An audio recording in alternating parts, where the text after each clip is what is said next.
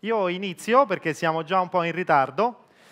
E ora mi metterò seduto, faccio una brevissima introduzione per presentarvi i nostri ospiti, che sono veramente, veramente orgoglioso di poter dire questi ospiti sono qui ora, perché avete veramente la fortuna di poter vedere insieme sia le eccellenze dell'ambito media, rapporto arte-tecnologia, questo ambito che stiamo cercando qui di esporre con il nostro festival, di esprimere e di dire che cosa sono queste media art, se ha un'utilità oggi parlare di queste tematiche, quindi con la mostra, con le lecture, con tutte le varie appunto eh, performance, tutti gli eventi che abbiamo organizzato in questi cinque giorni di festival. Questo festival si ispira su ricerca che ovviamente prendono spunto da eccellenze come Ars Elettronica di Linz, che per chi insomma, eh, che è il, probabilmente il uno dei festival più importanti al mondo, è uno dei centri più importanti al mondo, come la Media Art Biennale di Wrocław e il Wro Center di, ehm, eh, in Polonia, di, a Wrocław, Breslavia in italiano, che, come ci spiegheranno eh, i due, appunto rappresentano delle eccellenze. Abbiamo poi Siegfried Zielinski, Zielinski è uno dei massimi esperti di questo settore, della media archeology e delle media art. Dopodiché abbiamo un rappresentante eh, dell'arte contemporanea in Italia come Alberto D'Ambroso che sta portando avanti dei progetti estremamente importanti per l'arte contemporanea. Abbiamo una, uno dei pionieri, pionieri assoluti delle media art e della video arte mondiale che è Anthony Montadas, sono molto contento che sia qui. Dopodiché abbiamo i maggiori rappresentanti delle due anime diciamo, di, questo, di, questo, festival, cioè la Fondazione Monto Digitale con Alfonso Molina. Io devo dire che ovviamente tutto questo festival è nato anche grazie al dialogo con, eh, con Alfonso, il direttore scientifico della fondazione, che, la fondazione che promuove il festival, e BNL, qui abbiamo Anna Boccaccio, che diciamo, ci ha, ci, ecco, senza di loro non saremmo qui. Questo è il punto poi vero e effettivo. Allora, io eh, per iniziare darei la parola prima ad Alfonso che eh, ci spiega la mission della fondazione e come la fondazione si inquadra all'interno di questo, di questo settore che abbiamo, che abbiamo eh, chiamato appunto Media Art. Abbiamo, abbiamo eh, più o meno 10 minuti, 8-10 minuti, io eh, se, se, sono troppo duro nell'interrompervi ditemelo magari dopo perché... Valentino è durissimo, pertanto cercherò di essere molto conciso per spiegarvi eh, qual è la ragione per la quale la Fondazione Mondo Digitale che lavora per una società della conoscenza inclusiva. Noi crediamo che i benefici della conoscenza, del, eh, della tecnologia devono essere per tutti. Pertanto abbiamo arrivato eh, all'arte digitale perché lavoriamo con tante tante scuole in tutta Italia ma anche in Europa. Allora, perché l'arte digitale per la Fondazione? Precisamente, come dicevo, perché eh, lavoriamo in educazione. E l'arte digitale io lo vedo oggi come fondamentale, assolutamente fondamentale per l'educazione del XXI secolo. Eh, prendete in conto che eh, le ragioni per questo sono un mondo complesso, un mondo in cambiamento. Per voi ragazzi questo secolo è il vostro secolo. Questo è il secolo nel quale voi dovrete cambiare, costruire, viaggiare la vostra vita. Allo stesso tempo, come parte di questo, dovrete anche reinventare un paese, no? l'Italia, che vive momenti di difficoltà e questi momenti di difficoltà molte volte si traducono in limitazione per la vostra eh, crescita. La scienza e la tecnologia sta facendo un progresso straordinario, inimmaginabile. Quando parliamo di intelligenza artificiale, parliamo eh, di industria 4.0, di robotica, eh, della genetica, si parla di un momento di singolarità in questo secolo, il momento nel quale l'intelligenza delle macchine supera l'intelligenza umana che si è sviluppato da milioni di anni.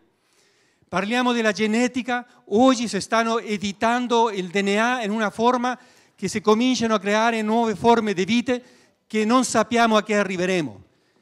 Il filosofo Edward Wilson ci parla di una evoluzione evolutiva, vuol dire che per la prima volta nella storia della umanità noi prendiamo il controllo della nostra propria eredità.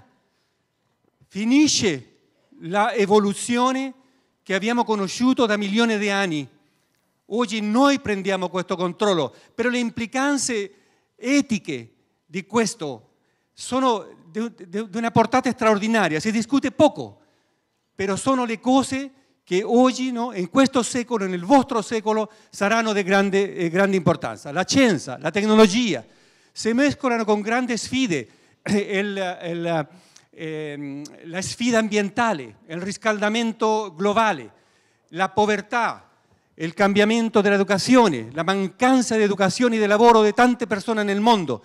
Tutto questo si mescola con un progresso della scienza e della tecnologia, creando un cocktail micidiale di complessità. È il secolo della complessità.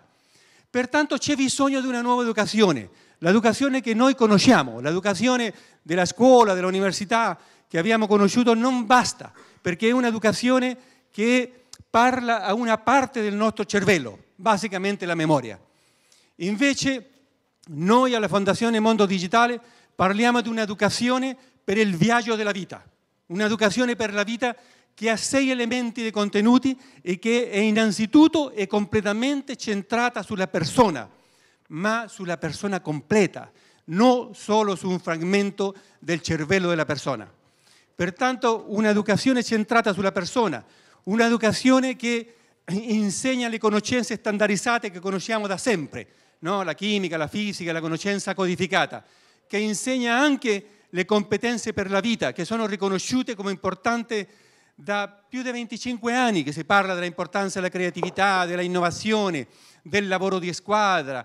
Tutte queste cose no? sono riconosciute, però il sistema non riesce a assorberle, a, metterle sistematicamente all'interno di un percorso formativo.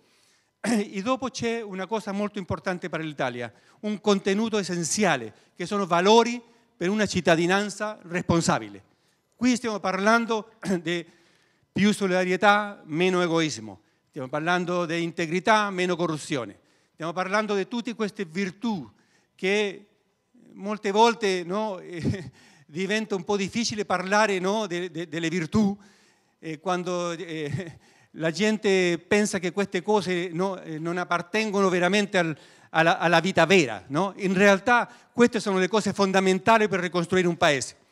Pertanto, conoscenza codificata e standardizzata, competenze per la vita e valori fondamentali. Allo stesso tempo parliamo di eh, un apprendimento lungo l'arco della vita.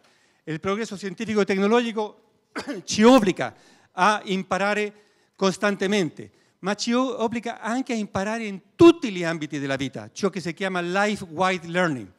Oggi si parla moltissimo dell'alternanza scuola-lavoro. Bueno, in tutti gli ambiti della vita noi dobbiamo costruire eh, la nostra conoscenza, le nostre abitudini e costruirci se, eh, se stessi. E c'è un ultimo apprendimento che è molto più recente, che si chiama Life Deep Learning. Questo apprendimento è l'apprendimento trasformativo.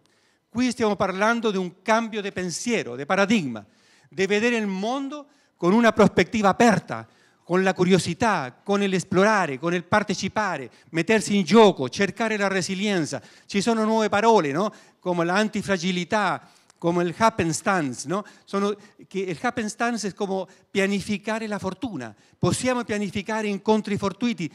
Tutto questo è parte di una discussione, di un'educazione che oggi sta prendendo eh, eh, fuoco nel, nel, mondo. E pertanto noi vediamo che l'arte l'arte digitale eh, gioca almeno tre ruoli fondamentali in questa educazione. La prima è che ci permette di fare un'educazione personalizzata, no? un'educazione che come noi sappiamo, eh, tutti noi siamo differenti, no? Pertanto sappiamo da sempre che non tutte le persone imparano nella stessa forma, no? Howard Gardner, filosofo teorico dell'educazione, si è insegnato che ci sono almeno otto intelligenze, no? le teorie delle intelligenze multiple, e ci dice che noi siamo combinazioni differenti delle differenti intelligenze. Ci sono persone che imparano meglio con un'intelligenza corporale, ci sono persone che imparano meglio con l'intelligenza logica matematica, ci sono quelli che imparano meglio con l'intelligenza musicale e così via. Questo non è stato mai, non è stato mai rispettato nel mondo dell'educazione. Una forma standard si insegna a tutti uguali, pertanto non c'è una personalizzazione. E questa è la grande sfida dell'educazione del XXI secolo. No? Si stanno facendo grandi avanti dal punto di vista tecnologico su queste cose. Pertanto la personalizzazione dell'educazione, un approccio che sia del cervello completo, no? ciò che si chiama whole brain, whole brain education, una educazione che ci parli all'emisfero sinistro e all'emisfero destro, alla unità del cervello e non solo predominantemente all'emisfero sinistro come succede eh, adesso. Pertanto prima, il primo eh, importante contributo dell'arte digitale eh, attraverso le competenze digitali è la personalizzazione dell'educazione. Il secondo sono eh, la pratica delle eh, competenze per la vita. Qui stiamo parlando di comunicazione, stiamo parlando di creatività, stiamo parlando di capacità intrapersonale, la gestione delle emozioni, stiamo parlando della gestione della capacità inter interpersonale, no? il, il, nostro rapporto con gli altri, eh, la nostra propria eh, emotività. Ci sono tanti elementi che appartengono essenzialmente al mondo dell'arte. Pertanto questa è la seconda grande ragione, ragione no? Ragione è una parola un po' spagnolo, la, eh, eh, ragione, no? Pertanto la terza è che le tecnologie dell'educazione stanno evolvendo straordinariamente.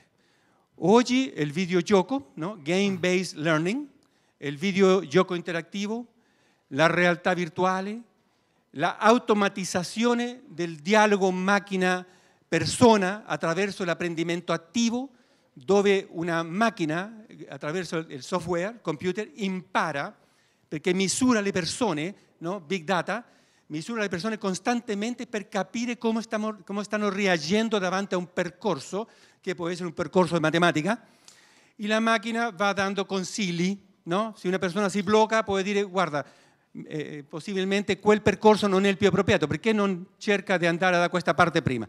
Bueno, tutte queste cose, le tecnologie dell'educazione, stanno eh, creando un cambiamento che arriva al lavoro, perché queste tecnologie sono le stesse tecnologie del big data, sono le tecnologie del cloud computing, sono eh, le tecnologie della realtà immersiva, che sono tecnologie de, che creeranno, cambieranno anche il linguaggio cognitivo con il quale ci confrontiamo con il mondo, una nuova concettualizzazione di realtà, dove c'è la realtà aumentata, la realtà eh, immersiva, la realtà mista, infine un mondo in grande cambiamento dove l'arte digitale, per le vie delle competenze digitali, tutta la sua potenzialità di creatività e di emotività sta completamente al centro. E per questo ragazzi noi continueremo a portare avanti questo festival perché consideriamo che è un strumento fondamentale per portare tutto questo al mondo della scuola. E eh, il prossimo anno faremo la stessa cosa, pertanto ci vedremo. Grazie. Bene. Bene. Grazie Alfonso. Io a questo punto lascio la parola, come dicevo, all'altra parte grande del festival, Anna Boccaccio.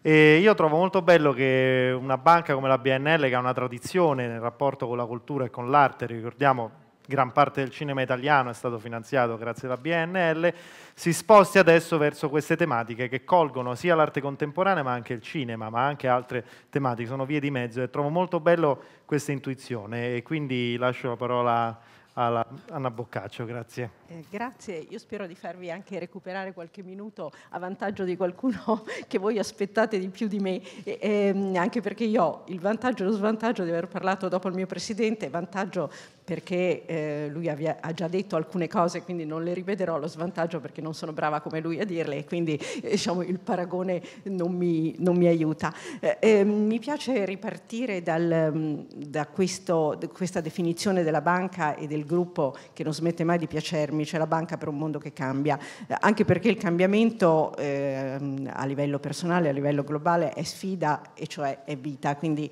io trovo sempre che il cambiamento sia qualcosa che ci, che ci fa crescere. E, ehm, e quindi il, ehm, diciamo, la banca è un mondo che cambia, un cambiamento eh, ehm, che in larga parte è guidato dall'innovazione tecnologica, dalle nuove tecnologie, che sono tecnologie che si riflettono sulla produzione, sui processi produttivi, sull'economia, ma sono tecnologie che eh, riguardano anche tutti gli altri settori della conoscenza e della comunicazione. Mi piace appunto la, la frase che... Eh, che avete scritto qui, diciamo, è solo attraverso la condivisione che le grandi idee si trasformano in un bene comune e la comunicazione è quella che permette la condivisione, se vogliamo, i nuovi mezzi eh, di, eh, di, comunicazione. Eh, quindi dicevo, noi siamo una banca e siamo principalmente un soggetto economico, quindi il nostro ruolo principale è quello di aiutare eh, il, il sistema economico eh, a crescere però siamo anche un, un, pezzo della società e come tali vogliamo, abbiamo l'ambizione di cercare di contribuire eh, alla, alla, crescita della società attraverso un supporto alla cultura, che vuol dire supporto alla conoscenza, all'educazione e quindi eh, diciamo, a costruire una società eh, più evoluta, che poi vuol dire anche secondo me una società più, più libera. Quindi eh, diciamo, tra le tante cose che facciamo, dal cinema eh, a, a mille altre, volevo eh, eh, diciamo, ricordarvi come noi cerchiamo eh, di supportare le iniziative pensando anche che sia una modalità per gettare un seme per il futuro. E, mm, e, quindi ricordare, quindi, diciamo, l'iniziativa che andiamo a sostenere oggi ha un po' tutte queste caratteristiche, quindi anche dell'innovazione e anche del futuro perché voi siete il futuro. E quindi noi puntiamo molto sui bambini e sui ragazzi perché saranno eh, il, il mondo di domani e quindi volevo ricordarvi eh, un'iniziativa che eh, nasce, e questo diciamo, nell'arido mondo delle banche eh, eh penso che sia oh, un elemento che va anche a vantaggio dell'associazione che ci rappresenta tutti, eh, dal 2 all'8 di maggio ci sarà la settimana della cultura creativa, quindi il mondo delle banche è chiamato su base volontaria a impegnarsi eh, per progetti che stimolino la, la, la, creatività di bambini delle mh, mm, ultime classi delle elementari e primi e all'inizio della, della scuola media. Noi eh, c'è un macro tema che è abitare sopra sotto, noi abbiamo scelto eh, di interpretarlo eh, con eh, il vivere nello spazio, anche un po' eh, eh, ricordando l'avventura di Samantha Cristoforetti mm, e quindi abbiamo costruito nell'arco di quella settimana labo- insieme all'Istituto Nazionale di Astrofisica dei laboratori in sette città italiane per, rivolti alle scuole per stimolare la creatività appunto dei bambini su questo su questo tema. Allo stesso modo eh, eh, diciamo, quest'anno sponsorizziamo eh, la, la, nuova eh, esposizione triennale di Milano attraverso proprio eh, il, la balena e quindi tutte le attività eh, della, legate alla, all'educazione dei ragazzini, quindi andiamo sul tema del design, dell'architettura, delle, di queste nuove forme di, di intervento e poi vabbè, diciamo più dal punto di vista ehm, sociale ehm, supportiamo delle onlus che portano l'arte e la musica eh, in, in scuole dei dei quartieri disagiati prevalentemente di, di Roma. Ehm, insieme a questo volevo riprendere il concetto eh, che ha espresso il ministro Franceschini di eh, eredità e di creatività, quindi anzi eh, diciamo, mettendolo nell'ordine eh, eh, opposto, la creatività di cui vi ho parlato e poi l'eredità, come vi ha detto il Presidente, noi abbiamo un importante patrimonio eh, artistico, sono 5.000 opere di grande, di, grande, rilievo, ehm, la nostra cultura è stata quella, compatibilmente con un minimo di attenzione eh, al, mm, alla loro conservazione, soprattutto di eh, cercare di portarle eh, a disposizione di, di tutti eh, ne, nella fruizione più tradizionale di venirle a vedere, ma oggi il, i nuovi mezzi di, di, comunicazione ci aiutano eh, a immaginare nuove forme di, eh, di diffusione, di, di comunicazione, di, conoscenza di, queste, di, questo patrimonio e quindi stia, abbiamo e stiamo sviluppando eh, delle, dei progetti di diciamo, di visite virtuali eh, del patrimonio e, e, poi utilizzando anche ancora un mezzo più eh, eh aggiornato che sono i social, abbiamo aperto un account Instagram che si chiama BNL Cultura ovviamente noi eh, comunichiamo eh, le nostre opere, comunichiamo quello che facciamo, eh, ovviamente abbiamo l'ambizione che essendo i social degli strumenti eh, diciamo eh, a doppia direzione, non siamo solo noi a comunicare, ma anche eh, il mondo che, che, vede le nostre iniziative ci dia un suo contributo di idee e di, e di suggerimenti. Grazie. Bene. Grazie, grazie Anna Boccaccio, anche grazie per la brevità. Io adesso volevo eh, dare la parola ad Alberto D'Ambroso eh, per, eh, prima di passare alle esperienze internazionali, lui è ideatore dei Martedì Critici e come dicevo anche molti altri progetti interessanti che ci dà il punto di vista dell'arte contemporanea ed è un esperto dell'arte contemporanea su questo settore. Quindi... Mi alzo in piedi anch'io, come di solito faccio durante le presentazioni di martedì critici. Intanto buongiorno a tutti quanti voi e grazie di essere qui per ascoltarci. Eh, ecco, parto dall'esperienza di martedì critici. Intanto il, eh, il, fatto che sono diventati noti soprattutto grazie alle piattaforme di social network che all'inizio appunto tra il 2009 e il 2010 avevano attecchito e come eh, anche in Italia. Quindi proprio eh, grazie appunto a Facebook e ad altri poi eh, piattaforme eh, che hanno continuamente poi rimbalzato la notizia, sappiamo bene ormai come funzionano eh, oggi eh, questi sistemi di comunicazione, hanno fatto sì che un, um, un format concepito all'epoca in casa mia, in uno spazio di 50 metri quadri, potesse avere nel giro di due o tre mesi solamente di attività una cassa di risonanza tale da poi proiettarlo eh, nel giro appunto di pochi mesi eh, nei, nei, grandi musei poi di tutta Italia. Noi abbiamo, abbiamo realizzato in circa sette anni di attività circa 180 incontri tra, mh, a Milano, Napoli e Roma, anche qui in Maxi siamo stati presenti per due anni consecutivi. Quindi ecco, questo è già un primo impatto legato comunque alla potenza chiaramente della comunicazione e quindi alla tecnologia e, eh, ma anche allo stesso tempo, ehm, e qui eh, voglio aprire anche quello che è il, il, discorso legato più propriamente all'arte, ovvero ehm, anche il fatto stesso di come queste tecnologie siano dire, continuamente aggiornate e che poi portano anche allo stesso tempo all'obsolescenza delle stesse, cioè quindi un, una, una, tecnologia che, ehm, che, può andare benissimo in questi giorni e da qui magari il prossimo anno, non è detto che poi fra due anni, fra tre anni potrà essere la stessa e, quindi, e anche se verrà aggiornata poi quelle opere che sono state prodotte comunque con quella tecnologia, poi difficilmente per mancanza magari dei vari eh, accessori o perché appunto poi vanno fuori produzione e quant'altro, possono creare delle problematiche serie. Ma questo è un aspetto d'altronde che già era noto, già presente eh, fin dalle opere degli anni 60, cioè ovvero quando inizia poi a parlarsi parlare di arte elettronica, eh, la video art, no, già a partire quindi dal periodo del gruppo Fluxus, quindi con eh, Wolf Vostel e, e, poi subito dopo con quello che è diventato il pioniere della, ehm, la video art Nam Yuen Pike, no? iniziava già questo discorso legato appunto alla tecnologia applicata all'arte e poi allo stesso tempo anche a quello che, che è il futuro stesso di queste tecnologie. E in effetti eh, molte di queste opere poi nel tempo si sono perse, eh, non sono state più restaurate, non si è saputo nemmeno appunto restaurarle, anche perché poi tra l'altro quando eh, muore l'artista beh, si porta con sé ovviamente anche i segreti stessi, a meno che non ci siano degli assistenti che eh, stiano insieme a lui che poi eh, possono portare avanti questo tipo di attività.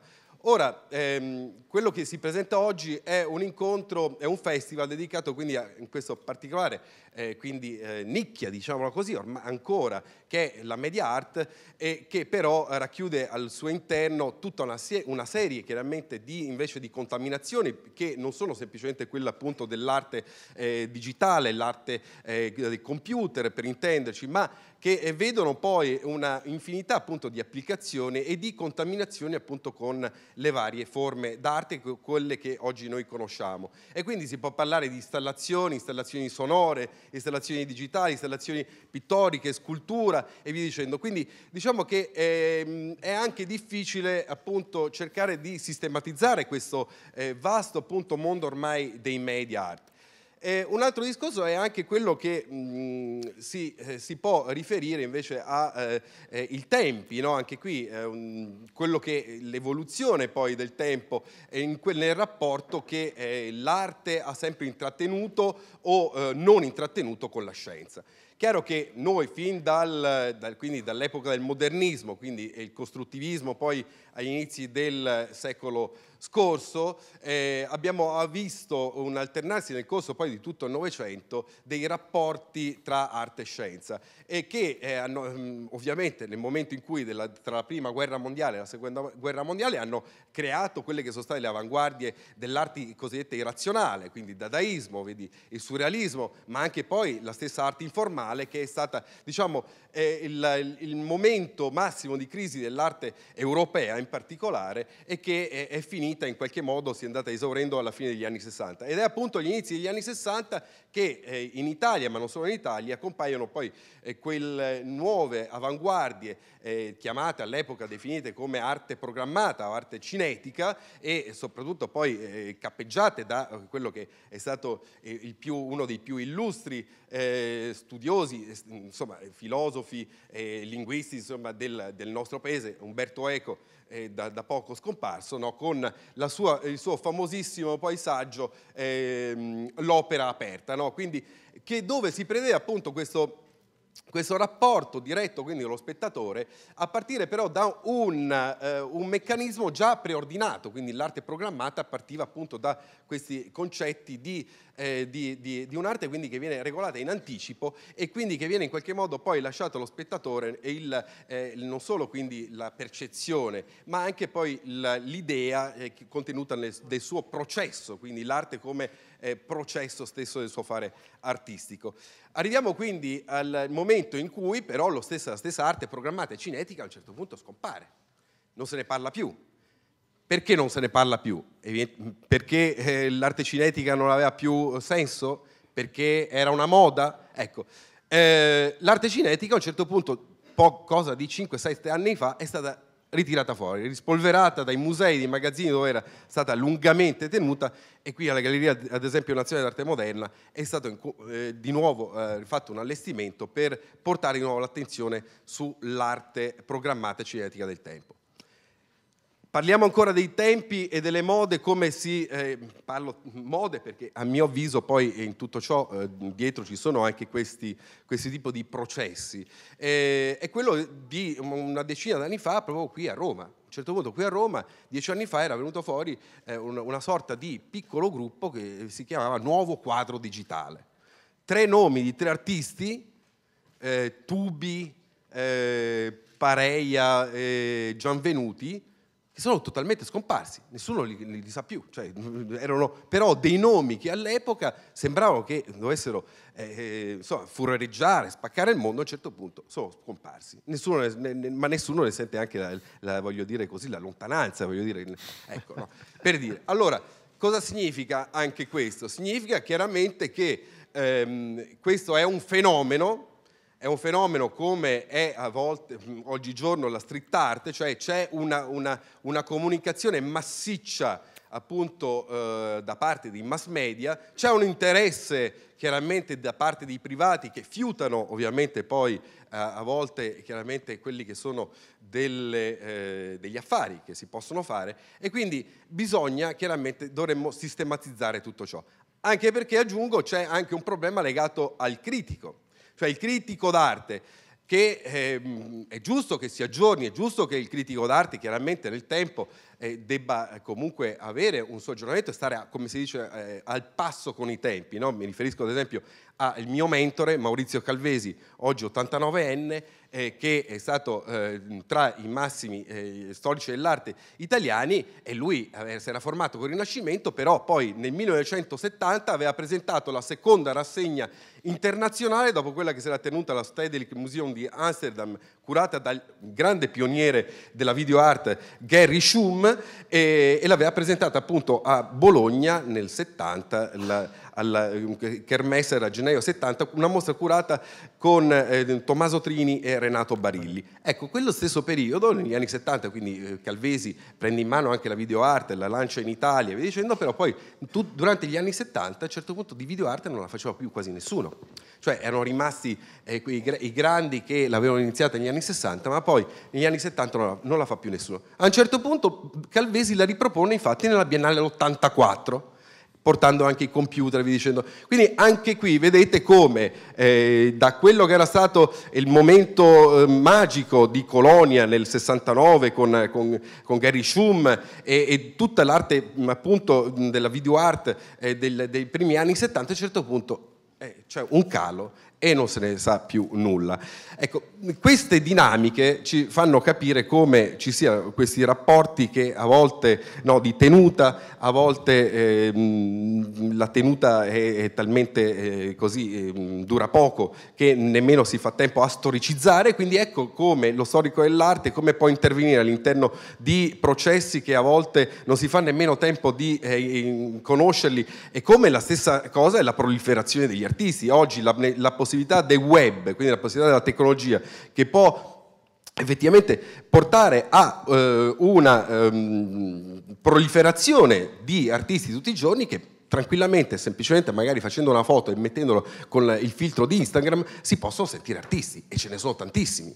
Allora, tutte queste eh, che a mio avviso sono problematiche dovrebbero essere invece proprio frutto di convegni, di discussioni, di messe a punto, cioè per capire effettivamente perché se ne parla oggi, perché sono importanti, che futuro possono avere. Ecco, noi qui abbiamo oggi uno dei massimi esponenti al mondo, appunto, della media art, Antonio Mundana, insomma, che fa questa cosa da 45 anni. Mm-hmm. Cioè, eh, non è che eh, 45 anni fa, no, no, come dire, non se ne parlava, non era un argomento. Cioè, diciamo appunto, come mai oggi diventa un argomento? Cioè, io vedo il, il, fatto che la media art sia come una delle tantissime altre forme d'arte e che merita il suo posizionamento ma insieme a tutto il resto. Cioè non farei una distinzione tra eh, questo è street art, questo è video art, questa è scultura, questa è installazione. Cioè oggi siamo nel periodo della contaminazione totale di linguaggi,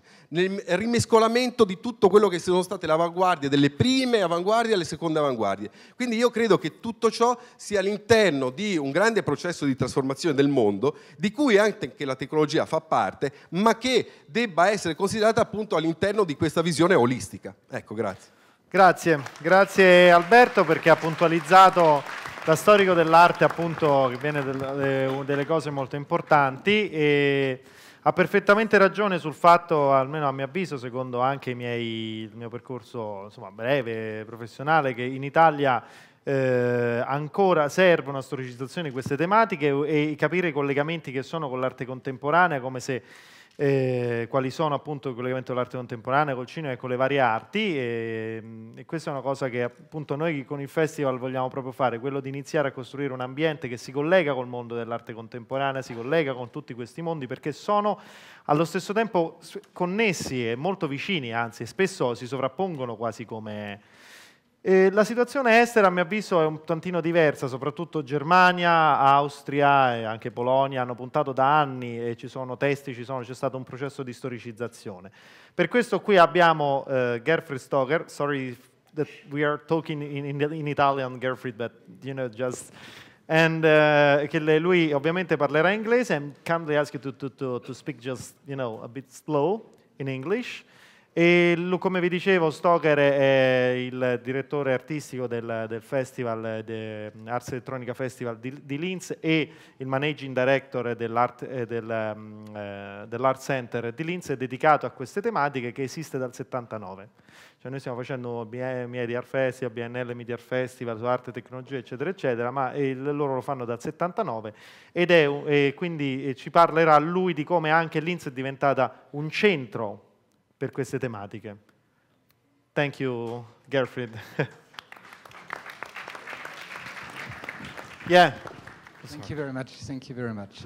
Again, thanks a lot for this uh, great invitation. Um, it's exciting to see how many people are coming. Uh, even when the minister is gone, there is still audience who is interested in our topic. I think this is really wonderful. Uh, and you have a really great festival here with many interesting media art installations.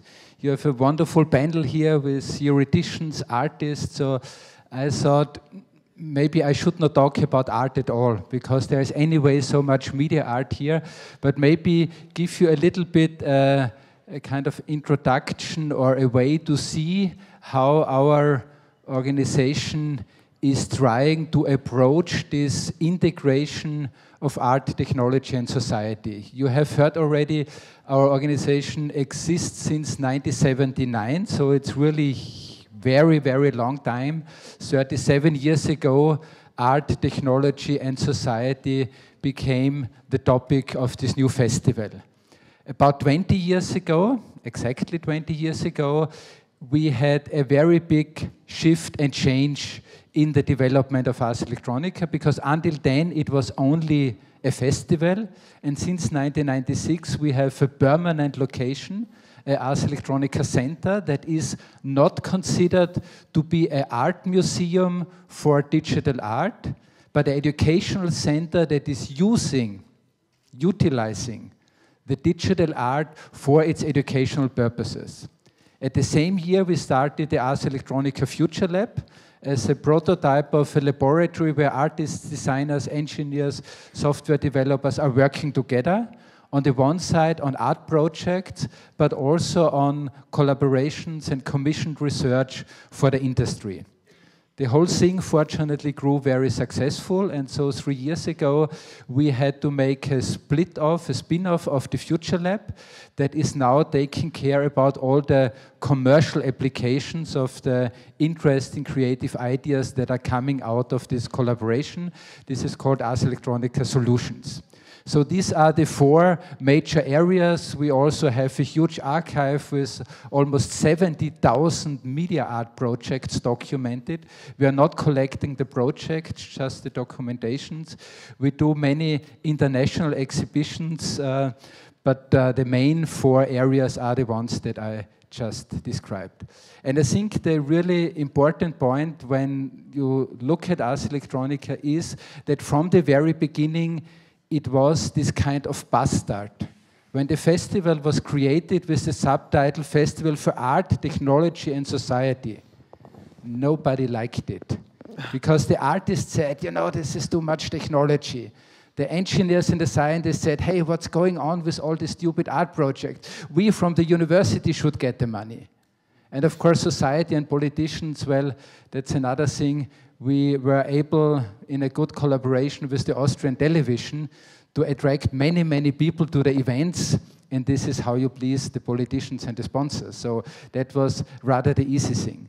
But sitting between these three chairs gave us our identity. I would say it took 15 to 20 years to recognize that this is our identity. And it's nowadays that we are really super privileged and happy that we had this lucky coincidence that so many years ago already people had this idea to make this festival for art, technology, and society and give all these three elements an equal role. Actually, it was not because, I mean, they were super clever people. I mean, just imagine in 1979 to do something. But it was not a master plan. There was nobody who was kind of working out a business plan and a strategy. It was a journalist, an electronic composer, and a scientist. And when they discussed about the festival, the new festival, they just couldn't come to terms. What should it be? So at the end, they just said, okay, let's call it a festival for art, technology, and society. And I think it is this kind of coincidences. And it is, on the other side, the commitment for the long run. I'm doing my job now as director of this Ars Electronica Center with all the four departments since 20 years. And I can assure you, I have met a lot of ministers and politicians, local ones, big ones, small ones, dedicated, yes, we have to go for the future. We need creativity and art to develop a new direction. But then they were expecting outcome in one year, in two years, in three years. No chance at all. I said it already this morning. The most important thing is to consider it as an ecosystem. Only if you have partners who are willing to contribute to the development of creativity, who are committed to nurture the soil, then you have a chance to harvest it. It's very simple. We are doing agriculture since 20,000 years on this planet, so actually we should know how it works, but very often we don't. The second thing, of course, it's all about the people. Well, You have heard this very often, but it is the case. What you have to do is when you think about this kind of institutions, events, programs, you have to think how can you support people in developing their ideas, enjoying their ideas, enjoying the collaboration. One of the best things is to put out challenges that are equally challenging to everybody. Because usually when you have artists and scientists working together and you have artists and technologists, designers, technologists, engineers, and you have a technical challenge, well, then the engineers say, okay, this is our task, we can solve this. And then the next thing is, you know, maybe a little bit more the creativity or the critical part, and the artists jump in place and say, ah, this is our domain. So where's the collaboration then? It's just the efficient working together. So you have to find challenges for all of them that brings them on very thin ice.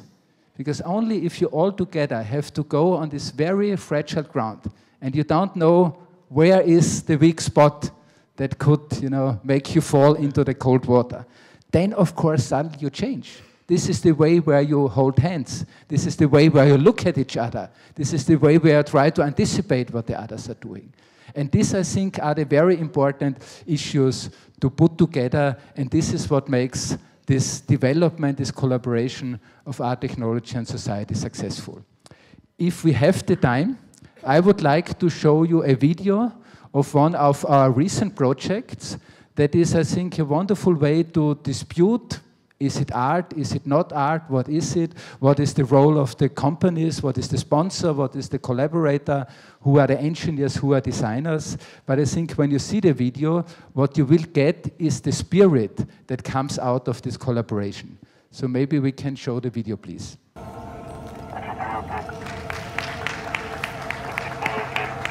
When you think about it, future is the only thing that can be created. Everything else is created already.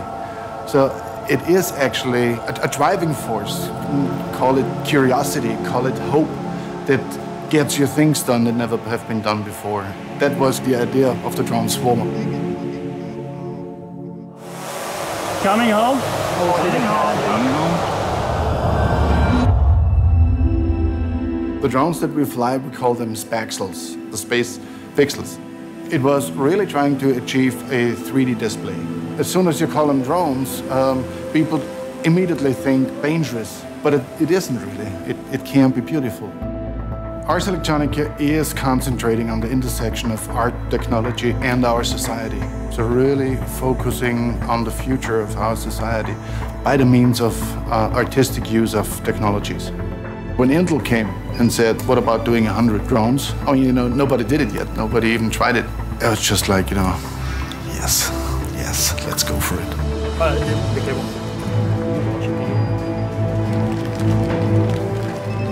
For the setup tomorrow morning, uh, it's quite important, I think, to first get an idea of where the airfields are before we start setting up the tents. And then the idea is to go directly into a 100 drones uh, test flight.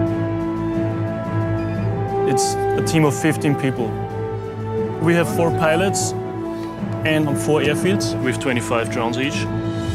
So each pilot is communicating with the crew on his respective airfield. Taking off.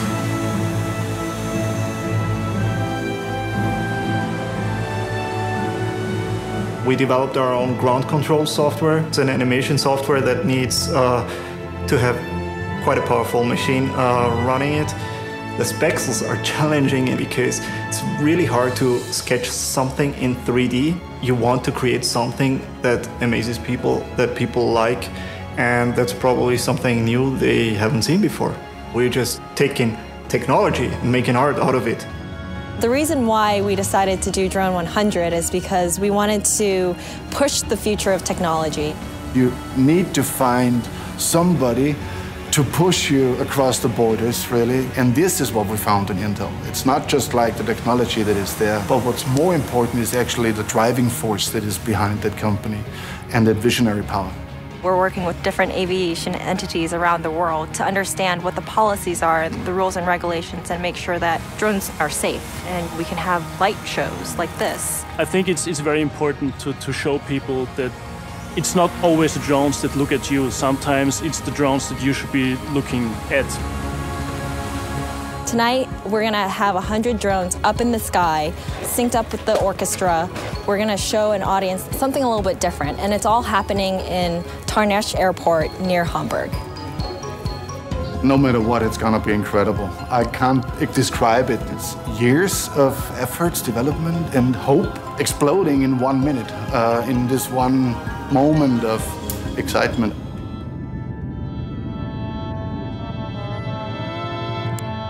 Five, four, three, two, one. Everybody ready?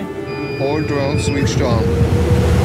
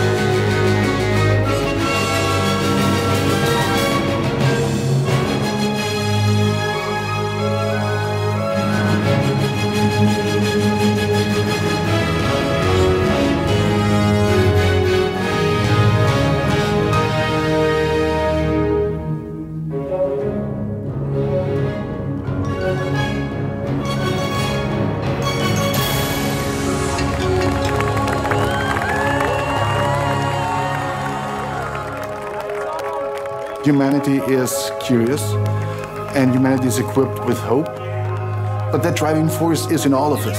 And that makes us doing things that are just like, one would say crazy probably, others would say astonishing. oh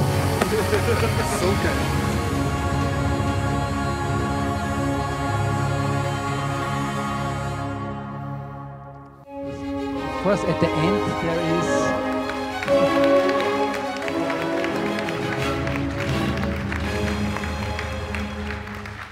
At the end, you have it again. There is advertisement. So the big question is, you know, is art being sold out with this? Interesting to know is the technology, all this has not been developed, commissioned by Intel, but it has been developed out of an artistic idea for a big public uh, art event that we did in 2012. And only several years later now, the industry is jumping on this project. And of course, Intel is one of the leading companies in developing the hardware for the Internet of Things and all these kind of uh, ideas. They find it very interesting. But I think, again, the project or the example should be an example to be heavily discussed and disputed. Thank you. Thank you, Stoker. Thank you, Gerfried. And, uh, che dire, ci arriveremo anche noi, giusto? Prossimo anno. Complimenti. And, ehm, allora, e adesso io darei la parola a Piotr Krajewski, della- anche lui direttore artistico della Media Art di Wrocław e managing director della Pro Art Center sempre di Wrocław. Wrocław che in italiano è Breslavia, è una cittadina eh, della Polonia molto molto carina che è diventata anch'essa è diventato un centro importante grazie proprio a queste tematiche. So, thank you Piotr. Yeah, thank you very much for the invitation. It's really great pleasure to have this opportunity to share some uh, thoughts, but also some images uh, uh, with uh, you. I was asked to present to you VRO. Uh, uh, the VRO is um, uh, one of the festival which was uh, uh, established in the 80s, the pioneering t- um, t- time. The pioneering time uh, uh, when the social changes associated with the uh, new technologies were just to uh, begun. So VRO is, belongs to the group of a media art festival initiated in the pioneering uh, 1980s. So VRO is uh, 10 years uh, younger than uh, uh, Ars Electronica. but it's still one of the uh, of, of the uh, long uh, uh, existing uh, uh, festival, media art festival in in Europe.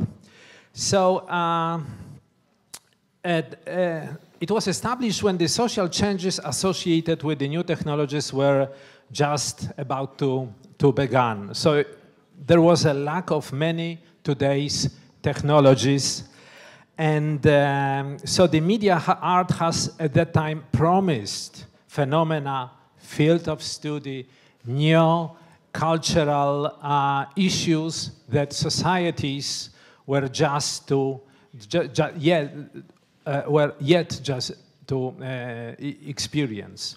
So, and when nearly 20 years later we set the Vero uh, Art Center, the situation was totally different. Media technologies have already been grounded in everyday life and functioning of the uh, society.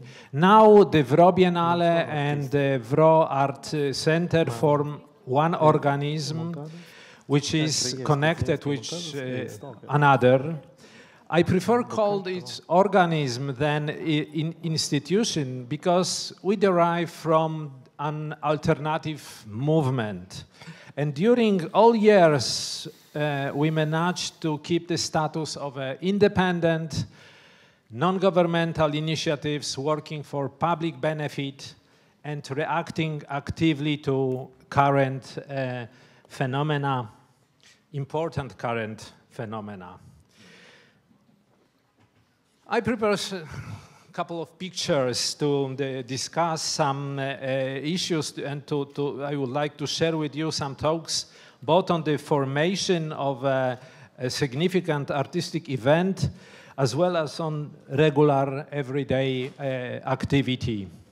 So th- those two photographs that are um, uh, here are showing pretty similar uh, uh, uh, situation.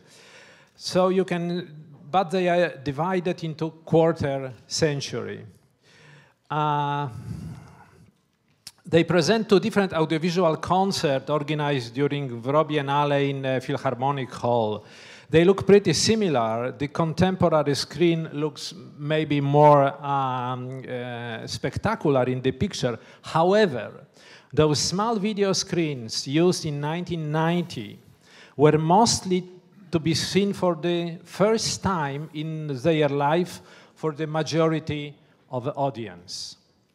So, the impression resulting from the contact, uh, contact with the new technology was then much, much stronger for people than today, when the media art uses means which are simply accustomed to.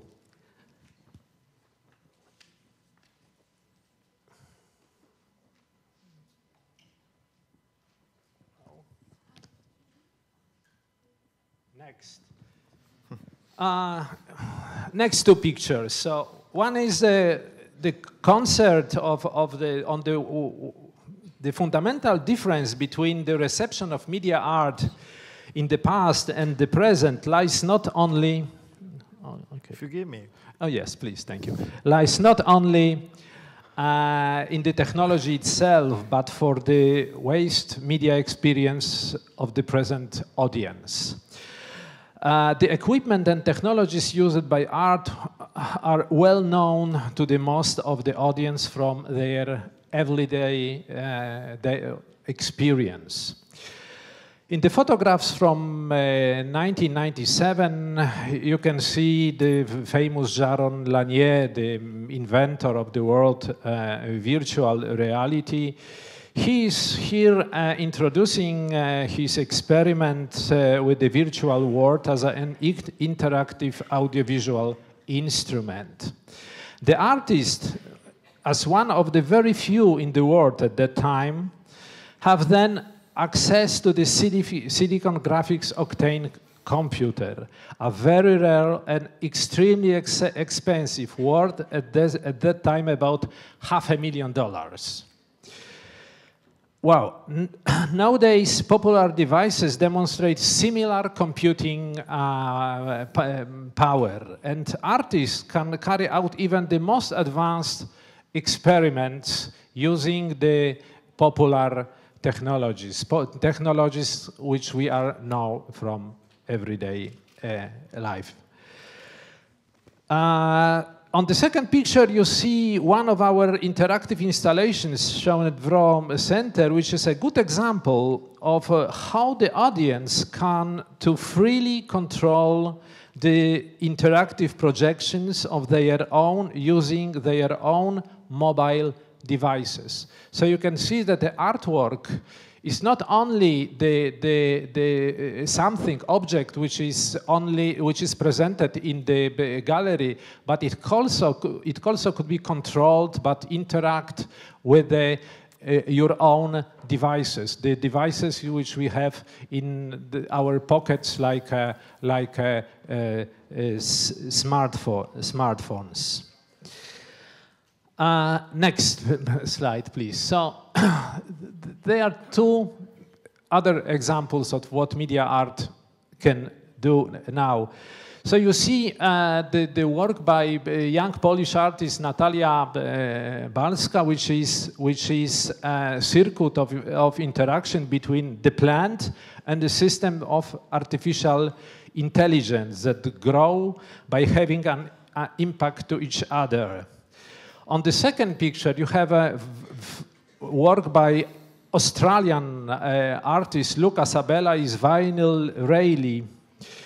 Uh, the artist here makes use of the retro technologies, such as video game controllers and stations from the 80s, vinyl records stacked into the racetrack, and RC car equipped with the gramophone stylus it's a really powerful installation and uh, the, the racing cars uh, read the grooves from the vinyl, so the, it's really sound installation, so they really uh, uh using the vinyl, the sound recording on the on the vi on the on, on the vinyl re record. So Therefore, it's a good illustration uh, that the art can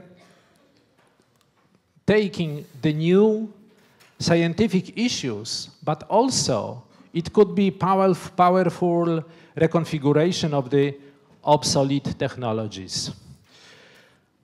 Well, I want to say something also about the classics, so also about the about the past of the history of uh, of um, media art. I think that awareness, uh, awareness of the classic, that is expressive, emblematic works from the past, is important in every field. But for understanding of media art and knowing direction of its development is really is really crucial and is really necessary to create possibility of getting acquainted with the classical works of uh, uh, art, so to make this art available for new audience. Two, uh, uh, two uh, example. One is the, the, exhibition "State of the Image" exhibition, which uh, I should I won't mention. The driving force for this exhibition was Siegfried uh, Zielinski. So we organized this exhibition in Berlin together with. It was really uh, broad international uh, col collaboration.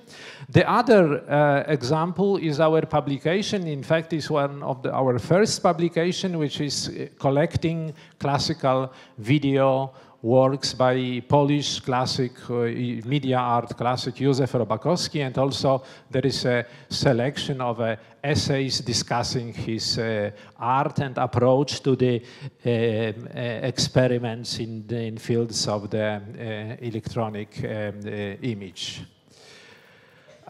next one, please. Also two different um, examples of how we are uh, dealing with the, with, with, the past, with the history of, of media art.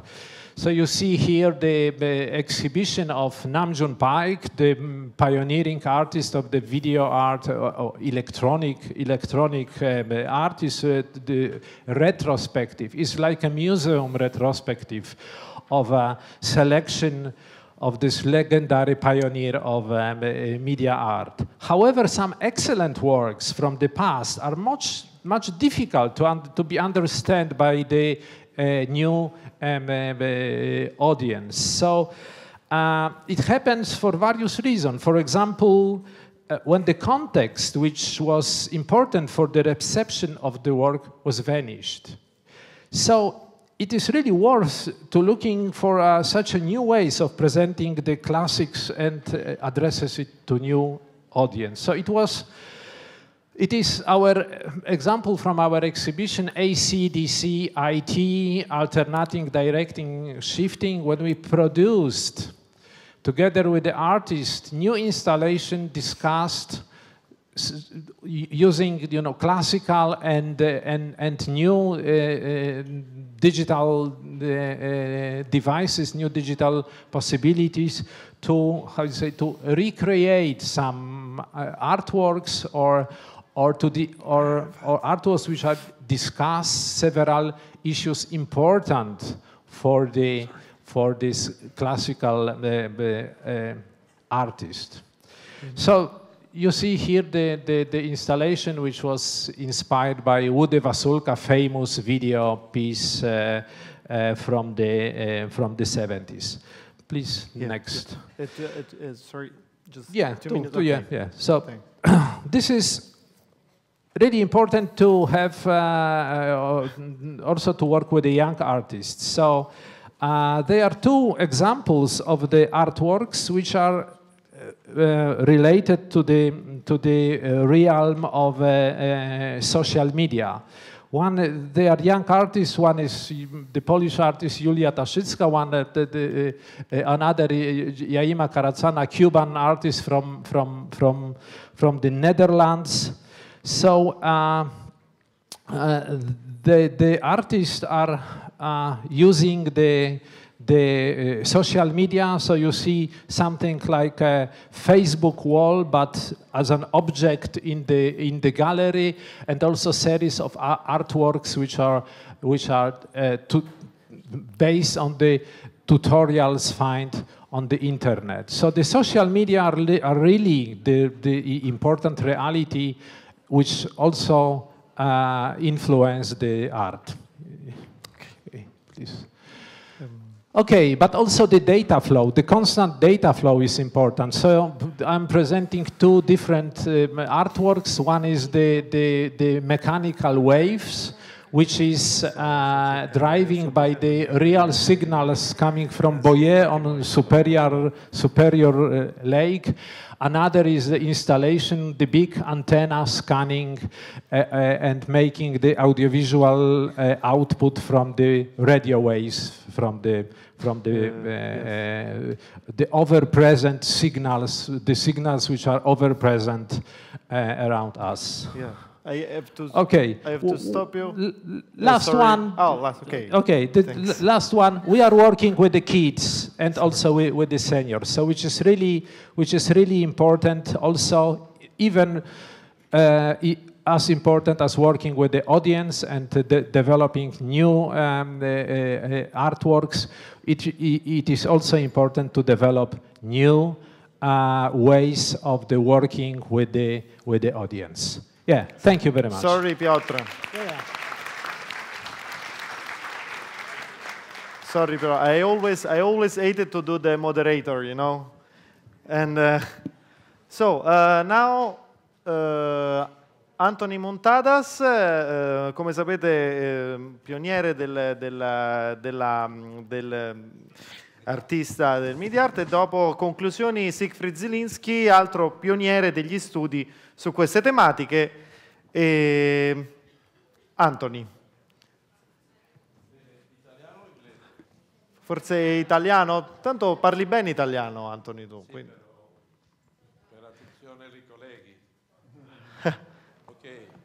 tell me the The time. is English. Va? Ehm, no va. Non va? Va, va, provalo. Ok, Media Arts Festival. Bueno, credo che per cominciare, mi- credo che è interessante anche fare una revisione del linguaggio, di come ci espressiamo, parole. Perché media, perché art, perché festival? Festival perché no symposium, perché no conferenza? Deve essere tutto festivo, spettacolo? Non so, lo lascio in questione perché se ha una tavola rotonda tu- tutte queste cose sono cose a discutere. Anche parole come media credo che è una parola che è molto complessa. La parola ultima- ultimamente molto l'idea di archivio, l'idea di research, l'idea di interdisciplinare. Sono parole che utilizziamo però che volta si, si banalizza. La banalizzazione della parola è un discorso che qualche volta è un po' prepotente, è un po' eh, ehm, over, overdimension. Credo che anche la parola militare in questo contesto si deve retenere. Parliamo di militare nel senso che il research in questi momenti fa 30 anni, se no è per le militari questa, questa ricerca del media non avanza.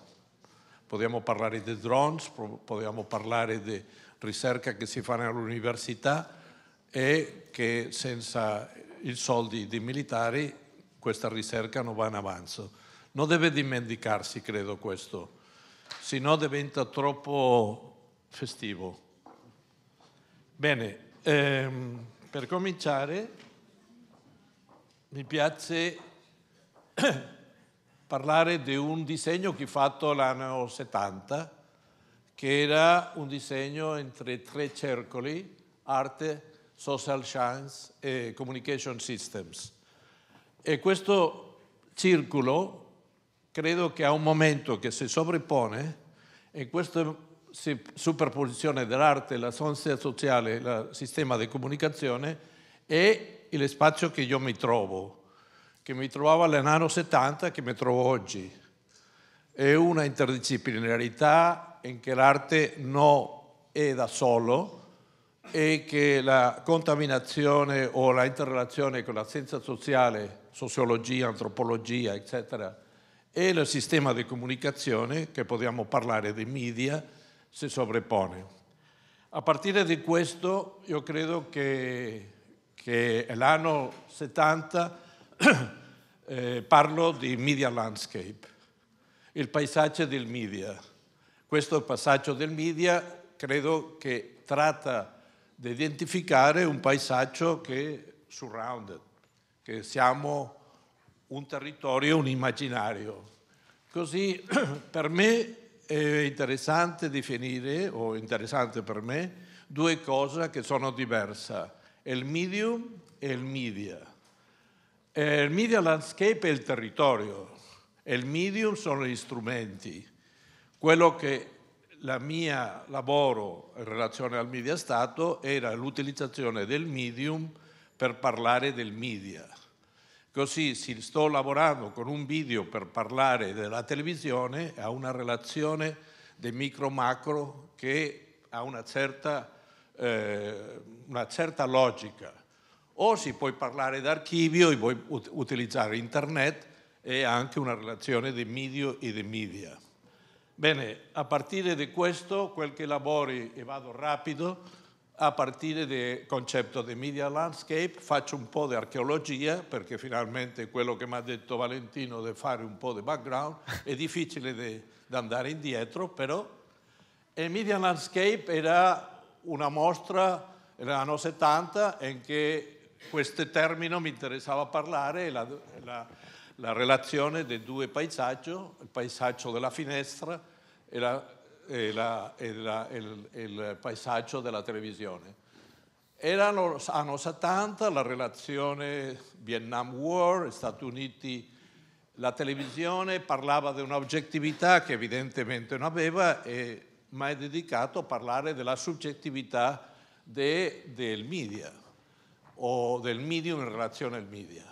Di installazione con confrontations, in cui si parlava di relazione della televisione, dei differenti canali sulla stessa news e la manca di oggettività a partire da questi fatti. E la relazione con la vita quotidiana, come quello che, il posto che, stavo, eh, che vivo ancora a New York, e la relazione de, del mercato in relazione al fatto sociale. The Last 10 Minutes è un lavoro che sta presentato prima a New York e dopo a Documenta 6, eh, era un fatto interessante che ora non esiste più. L'ultimo momento della televisione, The Last 10 Minutes, non esiste Last 10 Minutes, la televisione è 24 ore. Eh, a questo momento il finale della televisione era la religione e la politica. Sempre aveva un, qualcuno che ti parlava di religione, qualcuno che ti parlava della politica e l'inno nazionale. Così questo è un lavoro che io potevo dire time specific, si parla di spazio specifico, però mai si parla di time specific. E la specificità del tempo vuol dire che quei eventi sono legati al tempo che si fanno. Bene, il eh, Media Architecture Installation era un concetto dopo Media Landscape che mi ha interessato, che ha introdotto la relazione dell'architettura con il media e ho avuto l'opportunità di fare un lavoro con Anne-Marie Duguet, Media Architecture Installation, che era un CD-ROM, io l'ho, l'ho chiamato Inter-ROM perché era la relazione di un eh, CD-ROM con Internet. Evidentemente in quel momento era ancora un po' difficile per parlare di questo, nel senso che è stato un progetto fatto, però un po' fallito per questa relazione con Internet. Ora in questo momento questo lavoro sta tutto net, al net e eh, l'idea di questo progetto era di fare un libro elettronico che Anne-Marie Duguet, dando corso alla Sorbonne, aveva bisogno per lavorare e mostrare il lavoro del media, non da fare un libro, sino di poter mostrare l'immagine, l'immagine in movimento, il suono, eccetera, eccetera. E questa è una collezione che l'ultimo è stato con Fujiko Nakaya, che ha fatto Michael Snow, differente gente. Alcuni lavori rapido di questa serie di Media Architecture Installation, The Ballroom, era una serie che riprendeva The Last Supper, ma su un punto di vista della religione, l'economia e il media, in che a partire di una serie di ritratti presidenziali di personaggi legati al media, di tutti i colori, e parlavano di questa eh, utilizzazione della religione dal punto di vista economico e mediatico. La, Stadium è un lavoro che riprendeva l'idea che alla città io credo che ha il museo per l'alta cultura e lo stadio per la cultura popolare e riprendeva un fatto che credo che l'estadio, e siamo a Roma, che parliamo di quello, che il Coliseo, che la, tutto il, il, l'arena è l'elemento del comincio dello spettacolo e che lo stadio come spettacolo in certa forma eh, lo consumiamo, però siamo consumiti anche noi. Eh, una grande installazione con differenti elementi che non voglio raccontare, eh, se a qualcuno gli interessa tutto quello di una forma specifica, io ho fatto una, una, un corso alla, a Belle Arti il, alle 3 il venerdì e questa è una situazione più per discutere di una forma più chiara. Between the Frames era un lavoro sul sistema dell'arte, mi ha preso dieci anni, analizzando, e questo è interessante parlare, stiamo un posto come il Maxi, la relazione dei dealers, dei collectors, la galleria, il museo, lo docente, il critico, il media e finalmente un epilogo. Tutta una interrelazione di questa network che all'anno 70, 80 l'esplosione sul mercato del, del valore del mercato è un lavoro critico a partire da tutte queste eh, differenti personalità. 150 interviste che hanno molto italiano in questo momento che siamo intervistato. E, finalmente, eh, per dire che il collector, eh, per esempio, in uno dei capitoli di Between the Frames, era la relazione del collezionista con la, la borsa di Tokyo le stock market di Tokyo. Cada uno dei capitoli aveva una relazione con quello che chiamo eh, open visuals. The World Conference è anche una relazione con la situazione che stiamo qui, parlare, parlare, parliamo, eh, il podium, la persona che parla in forma anonima, il microfono, tutto questo crea una situazione mediatica che mi ha interessato parlare per questa idea della conferenza di presse. Che vuole dire una conferenza di presse e come il discorso si sovrappone fino a che si distrugge. E The Limousine Project è un lavoro allo spazio pubblico a New York, è un lavoro che sempre ha detto che non è site specifico, city specific, è city specific perché per una città che è New York, dove la limousine è, è normale, esiste, è un status quo, politici, gente dello spettacolo, eh, della gente dell'economia, e questa macchina è stata voltando la città con una proiezione interna e durante un periodo di tempo è stato come una constatazione a Wall Street, a United Nations e a Broadway di questo fatto, di questo spazio chiuso, e oscuro, silenzioso della limousine e quello che dentro sta riflettendo.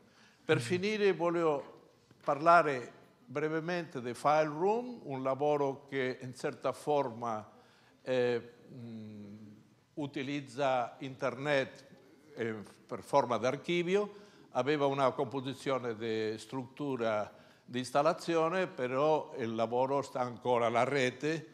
E questo è interessante parlare di come l'evoluzione del media, del primo video che io ho fatto l'anno 70 fino ad ora, si è trasferito di medium a medium sette volte.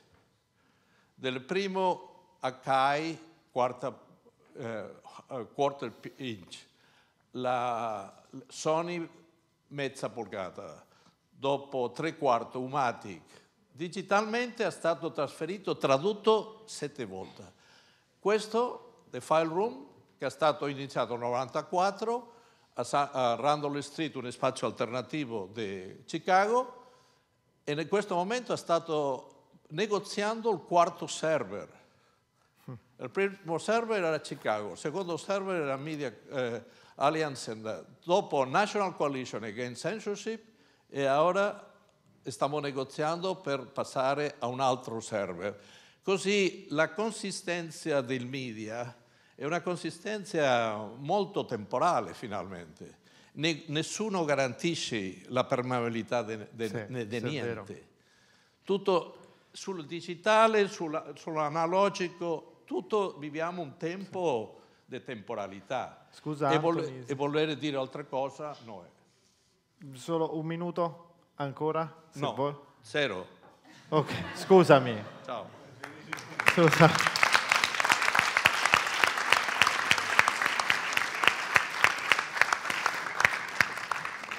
Okay, Siegfried Zielinski, uh, I know that you speak Italian as well, but uh, I'm not sure if you. I don't need, sorry, I don't need any introductions. Uh, you are all hungry. Some of you already are in this other third worlds. I can see it. Uh, your faces are blue. That means uh, your your machines are working. Um, so we are living in parallel works, uh, worlds, sorry. Um, and this is uh, perhaps one of the biggest uh, challenge for what we call media art because we have to reinvent communication. Uh, between us uh, and between man and machine, between machines. Uh, these are huge uh, challenges. Um, I just observed uh, how the discussion uh, started. Uh, you all were very active in what I call instant archaeology, not this kind of archaeology which Montadas just presented. Instant archaeology means you take a photo of myself and then you look uh, if the photo is like uh, you wanted it. If it's not, you do another one because it's digital. You can spend hours and hours with this kind of procedures. um, and I will, of course, make a face uh, which is. Um, uh, perhaps expecting that you make an image. Uh, so we have a kind of relation of an instant archaeology. Um, and uh, this is a, a, coexistence of time uh, dimensions uh, which we are not yet used to. We have to learn that. Uh, that's very, very difficult. But let me um, at least provoke you a little bit before you go to lunch. You're all hungry, uh, and uh, this materiality is much more important uh, than the immateriality we have to offer when we are talking about uh, media art. Have a good lunch, have a party. This is part of a festival. This should be part of a festival. We should celebrate what we are doing. but why uh, Rome and why uh, so late? Let me be a little bit provocative. Um. I think uh, there are various reasons. Uh, media art was, I'm very short now because we don't have much time. Media art was very strongly an invention of the provinces. The, the metropolitans uh, did not take care about that. Why should they? Uh, people came anywhere. Anyway, uh, the tourists came, uh, people were interested in seeing the architecture of this ancient city, Rome. Uh, they were uh, coming because they wanted to see the paintings, the museums, and so on, the, the time machines uh, from the past. Why should they come to look at a video installation? Ridiculous. these kind of things were invented in the provinces. Look at Germany, Cologne, one of the smaller, bigger cities.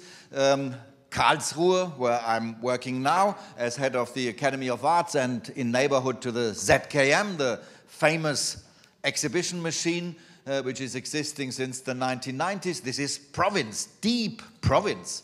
Uh, Karlsruhe has 100,000 uh, people of inhabitants. I mean, this is ridiculous. It's boring. what can young people do there? They invent things. They invent alternative worlds.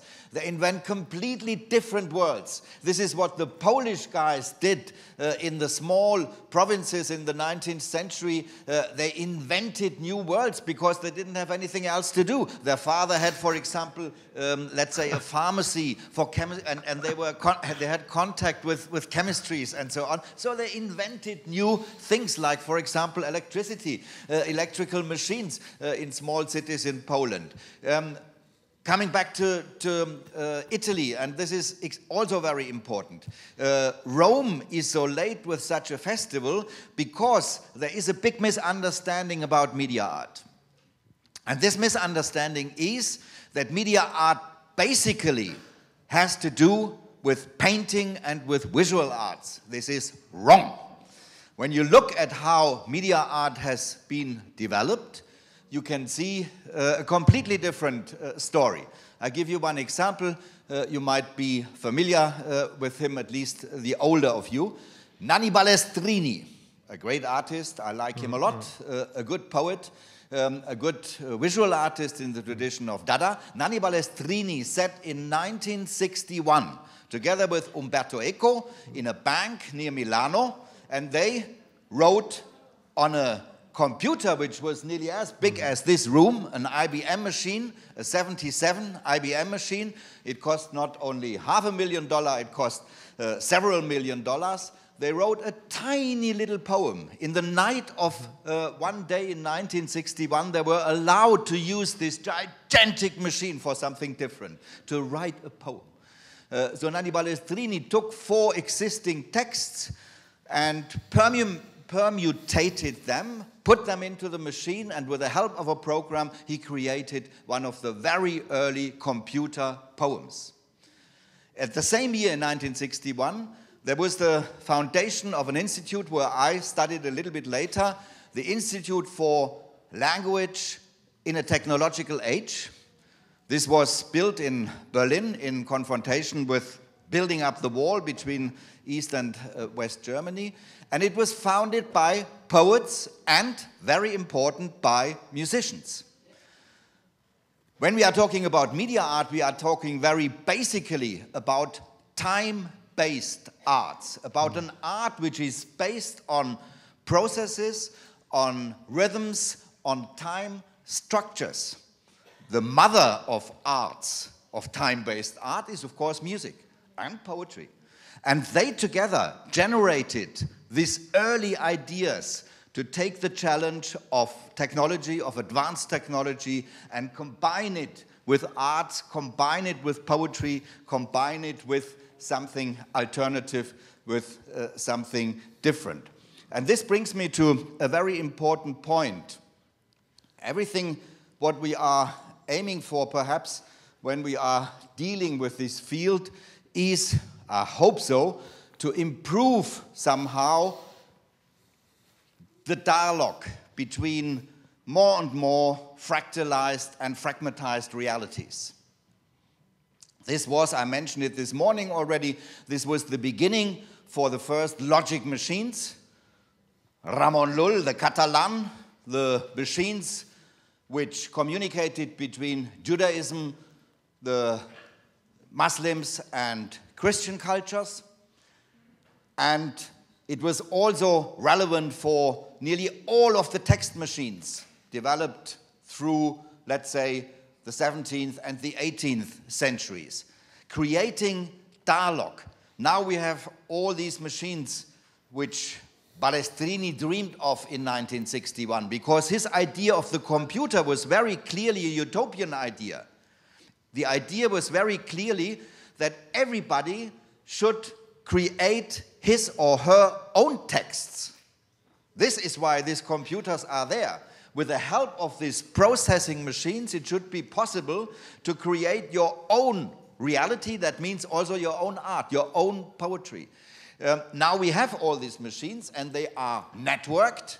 Uh, we can connect with, uh, I don't know, Kathmandu or wherever we want uh, within a fraction of a second or within a few seconds. It depends on the connection. Um, and what are we doing now with that?